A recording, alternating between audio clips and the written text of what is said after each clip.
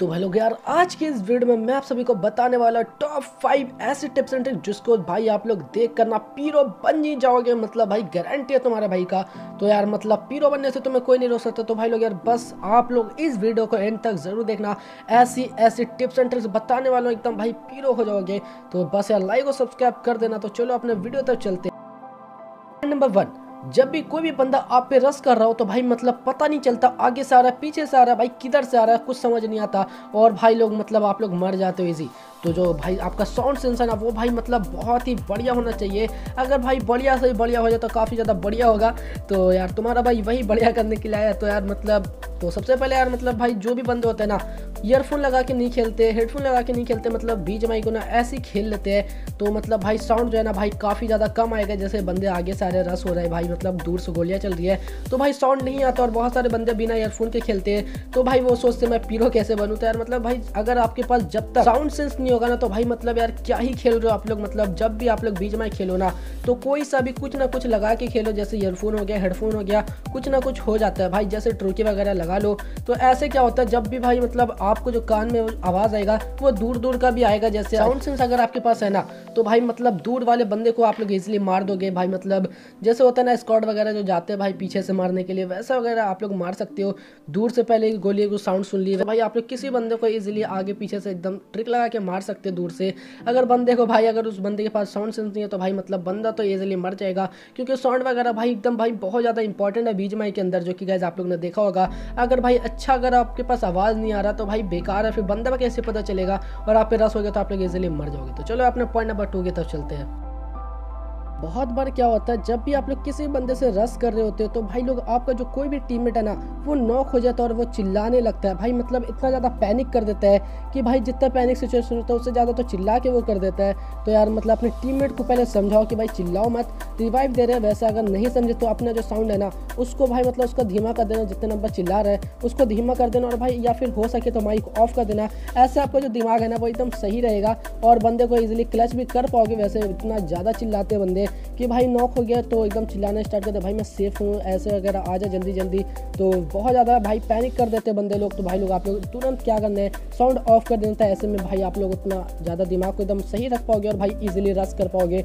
अगर आप लोग मर भी गए ना तो उतना ज़्यादा दिक्कत नहीं होगा जितना अगर बंदे चिल्ला रहे हैं तो ज़्यादा दिक्कत होगा। या फिर आप लोग गाली वाली ना निकाल दो तो यार दिक्कत हो जाता है तो आप लोग हमेशा क्या करो माइक ऑफ़ कर देना जब भी कोई बंदा चिल्लाए। तो चलो अपने पॉइंट नंबर थ्री की तरफ़ चलते जब भी आप लोग के टीममेट पे रस हो और आप नॉक हो जाओ तो भाई कभी भी अपने टीममेट के पास मत जाना। है मतलब भाई, बहुत सारे बंदे क्या होते हैं ना नॉक हो जाते तो रेंगते रेंगते अपने टीममेट के पास चले जाते या फिर जैसे कोई भी कमरे में अगर फाइट चल रहा और आप लोग नॉक हो गए तो क्या करते अपने टीममेट के पास जाते कि रिवाइव दे देगा। तो ऐसा मत करना, क्योंकि जहाँ पर आप लोग नॉक हो रहे हो ना, उसी के कवर में रहो। क्योंकि ऐसा होता है, जब भी आप लोग अपने टीममेट के पास जाते हो तो एनिमी को लोकेशन पता चल जाते कि उसका टीममेट यहीं पर है, या फिर कभी भी आपका जो टीममेट है ना आपके टीममेट के पास जाते हो रिवाइव लेने तो उसका क्या होता है? काफ़ी ज़्यादा बार क्या होता है कि आपका जो टीममेट है ना, वो बंदे से फाइट लेते लेते ना अटक जाता है आपकी वजह से। मैं तो इतना बार अटका हूँ भाई मैं बता नहीं सकता। भाई मतलब मैं गाली देता नहीं लेकिन फिर भी भाई हो जाता है, दिक्कत हो जाता है। वैसे देता नहीं लेकिन भाई सोच रहे भाई एकदम निकल ही जाता है।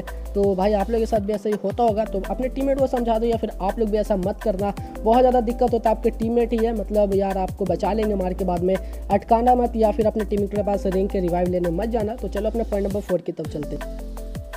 पहले बहुत बार बंदे क्या करते ना, कोई भी बंदा कहीं पर भी दिखा, जैसे हील पे दिखा, घर पे दिखा तो बंदे एकदम चौड़ में रहते भाई, अब तो घुस के ही मारना है, खोल देना भाई खोपड़ी बंदे का।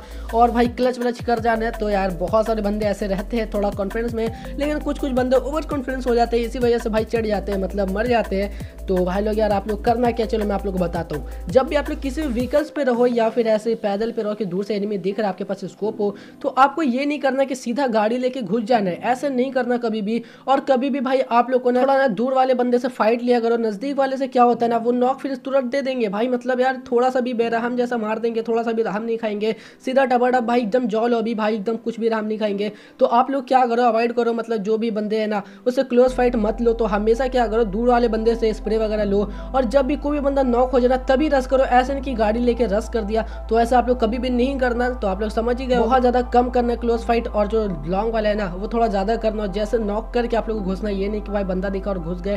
तो ऐसा हमने, ऐसा आप लोग को नहीं करना। तो चलो अपना पॉइंट नंबर फाइव की तरफ़ चलते हैं।